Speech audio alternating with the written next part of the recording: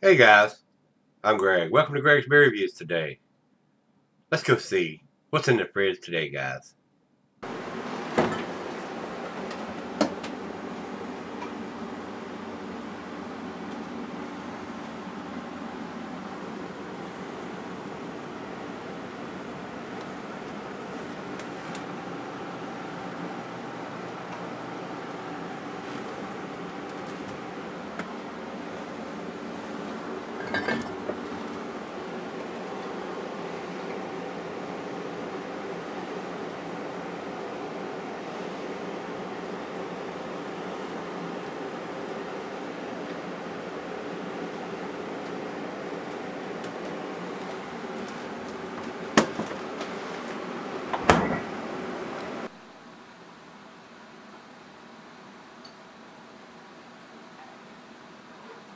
Hey guys, thanks for stopping by Greg's Beer Reviews today. Thought I'd get this one out of the fridge. I've had it for a little while. Uh, this is Pig Pounder Brewing, and they're out of Greensboro, North Carolina. Very unique shaped bottle on this one. Uh, this is a low ABV stout. This is only a 4.8% alcohol by volume, 24 IBUs and uh, doesn't have uh, a date or anything on it. So doing a, a, beer of that small, no, you know, it's sweating profusely since I got it out of the fridge. So there may be some digitized, digitized on the bottle, but I seriously doubt it. Uh, I actually picked this up at the Best Way Market down in Greensboro. Uh, I didn't actually go to the brewery or anything. Uh, that's another reason why I went ahead and got it out. Uh, if it had been a 7, 8, 9 percenter, I would have probably left it in there for a little while longer. But since it's a low ABV beer, thought I'd go ahead and get it out and uh, see what this one brings to the table. I've not had anything from these guys before, even though they're in Greensboro. Uh, they, I've not seen their beers here in Virginia, so I don't know how far out of Greensboro these guys go. So, it says here the, uh, the commercial description is Lactose gives this milk stout body and balance. A distinct mocha's character is derived from an imported specialty malt, smooth and rich.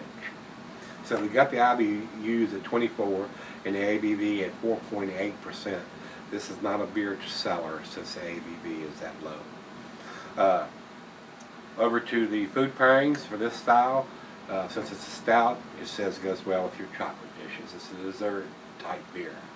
Any kind of chocolate brownies, chocolate cake, chocolate pie, chocolate cookies, any kind of chocolate this will pair well with, or like I said, after dinner, something like that for dessert. And they use lactose, and that means it's going to be a sweet stout, a milk sweet stout. So it's going to have a nice sweetness to it to, to, to pair well with those uh, desserts that you're going to have with it if you do. Uh, glass barred pint, Becker, Nonic, tumbler, mug, Steinless, Adele. I'm going to use a double glass for this one today, guys. Uh, and uh, not recommended for extended salad, like you said, since it is a low ABV beer. So let's see what we can get uh, from this. So uh, very unique bottle, like I said. Uh, I don't think I've had any other beer in this type of bottle before. This is like a little mini growler.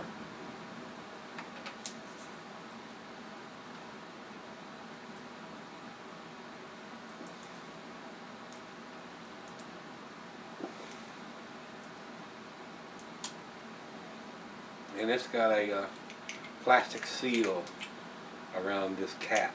I didn't get a very very big hiss, so I don't know how well carbonated it's going to be, guys.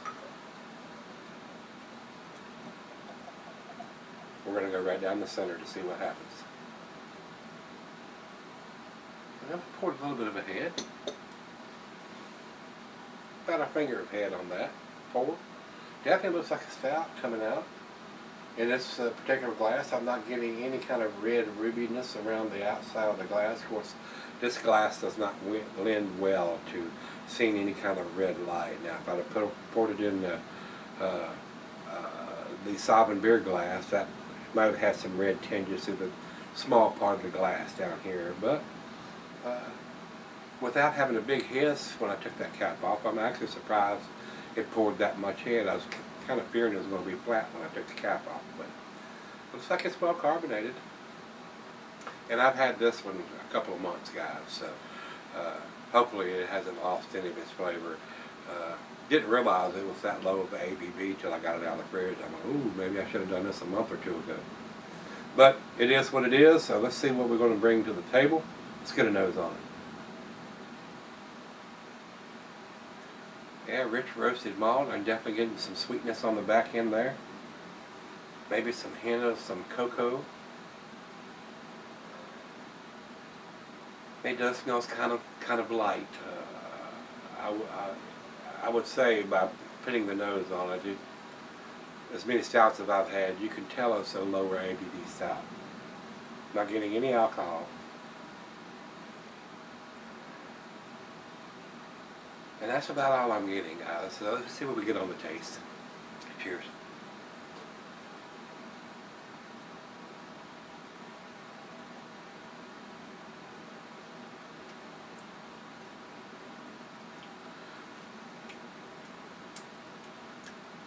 a little hint of some metallic taste there.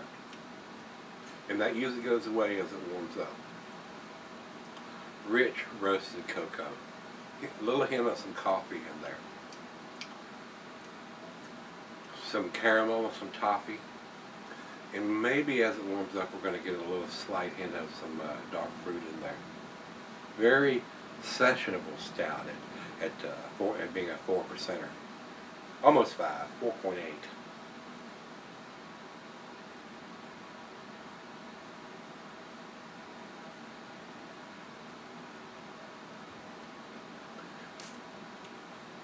maybe I don't know if I've ever had a lawnmower style stout. Just would, if you're into the darker beers and you want to have something maybe for breakfast, for lunch, or, go back to work, this would be the direction you would go in if you're into the the, uh, the stouts or, or even the porters, something with a little heavier roasted malt into it, and not have that big seven, eight, nine, ten, or even bigger percentage, and try to function after you've had that much alcohol.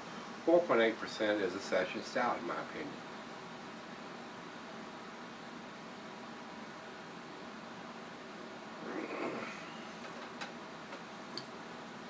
A little thinner on the mouthfeel, which you have to expect with a, a stout of this low ABV. The creamier stouts uh, usually are between the 6 and the 10 or bigger when you get into the imperial stouts a lot creamier mouthfeel that you're going to get on those beers. This reminds me very much maybe of an English stout. Low ABV, a little thinner mouthfeel, but still a lot of taste to go with that. It's very nice. It is very nice. I think it's maybe the first, one of the first or few uh, uh, stouts of less than 5% that I've reviewed usually uh, I've, had porters and stuff, especially the English style, with that low of ABV, but an American stout, less than 5%, is kind of rare. And using the lactose they've used in this gives it a, a little more sweetness, uh, a little easier to drink, if you will, especially if you like a sweet stout. It's very tasty. So let's let it warm up and see where we end up with this one. Definitely enough in this big bottle to share. That's what I intend to do. Uh, says a quart, so this is 32 ounces. Definitely enough to share. So uh, let me sip on this for a little while, may fire up a cigar to go with it, and we'll come back and uh, after it warms up to room temperature and see where we end up with this one. Very unique. Uh, very close to me. Greensboro is only a couple hours uh, south on 220 here, and uh, uh, hopefully these guys will be heading this direction before too long. I don't know how big the brewery is, but uh, not seeing their stuff here in Virginia. So let me sip on it, and I'll be right back and we'll do the final chug on this one. Alright guys, I'm back. Been sipping on it probably about 35, 40 minutes or so. Very nice session stout, if you will. The only problem I have with these, or this beer, or this brewery, they uh, they put it in this nice big quart bottle, like a mini growler, and uh, they've got the stick-on label on this part, the pig pounder part. It'll silk screened on the on the on the bottle, and then they stuck this label on it to tell it what kind of beer it is, which is the Snout Stout. And then on the back it says visit our local family of restaurants. And they taken the time, somebody had to do this, and, and put this piece of tape over this label on the back. And I don't know why they've done that. Evidently they're not associated with these. It says the Marshall Free House, uh, but Rager, or Burger, Burger Warfare, and Darryl's, and Vineyard Grill dessert bar. They've had somebody to, to take time to, put that over top of that so you can't see it. So I don't know why, whether they're not associated with them anymore or whatever. But the person that they are having do this didn't have time to write bottled on date. And normally in a stout version, uh, it's not that required. I, I, would like to see a month and a, and a, year, at least a year, if not the month. That way we'll know if it was done in January or done in December of 2014 or 2015 or whatever. But somebody's taking the time to do this with no date. This is a less than 5% stout, so it's kind of critical to me that they have some kind of dating on it. So you, you, you don't want to keep this beer for a year or two or three or five uh, it's a low ABV stout, more like a session stout, if you will. So they've taken the time to do this, but not taking the time to put a date on it. So I've got a problem with that. Uh, it's a very nice session stout, if you will. 4.8%, very tasty, nice roasted cocoa and, and roasted malt. Uh, the metallic taste went away as it warmed up. Uh, I was uh, smoking on a uh, Drew Estates Undercrown with this. Uh, they paired very well together. Uh, but I have a problem with no dating on the bottle, especially a less than 5% beer, no matter whether it was a pale ale or a lager or a stout or whatever. We need to we need to have a date on it, guys. And and they've taken the time to put the tape on it, but that person could have put the uh, date on it just as easy while they were doing that. So somebody's handling each one of these bottles to put that tape on there, and they decided not to think it was important enough to put a date on it. So got a little problem with that. So let's do the final chug. The carbonation is uh, slightly lower, but you know, being at 4.8%, you kind of expected that. And I didn't get any hiss by taking the, the, the cap off of it, but it did pour a decent head. So, final chug.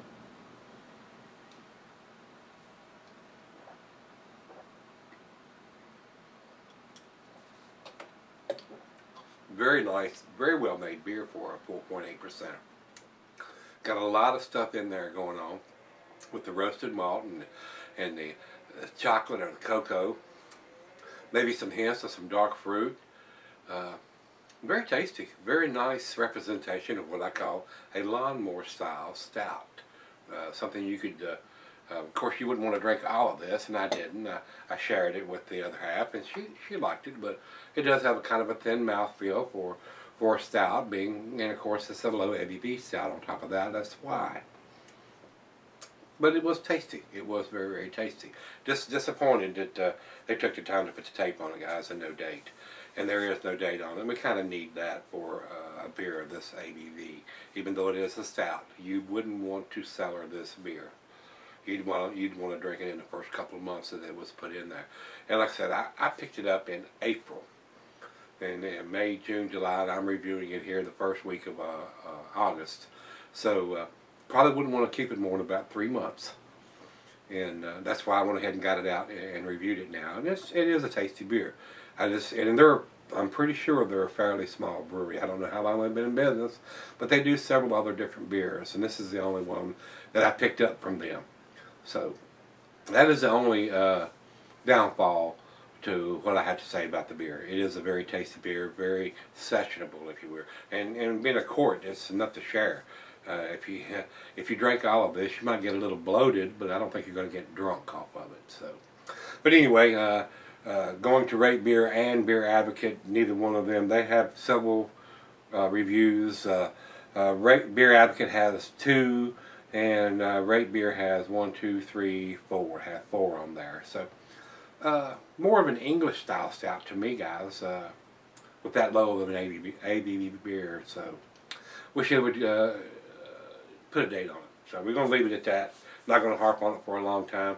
Uh, it needs a date, guys. Uh, the guys down at, at uh, Pig Pounder. If you're going to take a time to have somebody put a piece of tape over this back label, you have time to have somebody write on the date so you'll know uh, when it was put in the bottle. So we're going to leave it at that. Like I said, no ratings from these guys and from me for what it is, which is a low ABV style. Uh, I'm, I'm going to give it the 6, which is a B. Uh, I think it's above average beer. It's very well made, very tasty, got a lot of stuff going on in it. Uh, a little on the thin side, a little on the watery side, but it's a lactose beer, nice and sweet. Uh, it's a very tasty beer. We just need to have those guys do some kind of dating on these beers so we know how long it's been in the bottle. And like I said, I picked it up in April. That doesn't mean it was done in April. It could have been done whenever. We have no idea. We have no clue. I don't know how often they do this beer. It says year round, so they must do it all the time. So they need to date it. We need to have a month and a year, at least a year, and a month and a year would be even better. So uh, six for me. If it had a date on it, I'd probably give it to seven. Uh, don't think it's quite to an A category, but for what it is, it's very tasty. Glad I picked it up. First one I've had from these guys. Uh, next time uh, I go to uh, North Carolina, I might pick up uh, another uh, bottle or two of something different just to see. But I'm going to definitely check for dates and if it doesn't have a date, and if it's an IPA, I'm going to leave it setting. I'm not going to pick it up. Kind of need to know that. Uh, so if you've had this one, if you're in the Greensboro area and you've had something from Pig Pounder, or especially this one, let me know what you think, guys. And as always, on back tomorrow. We're going to take that walk and see what's in the fridge. See you then.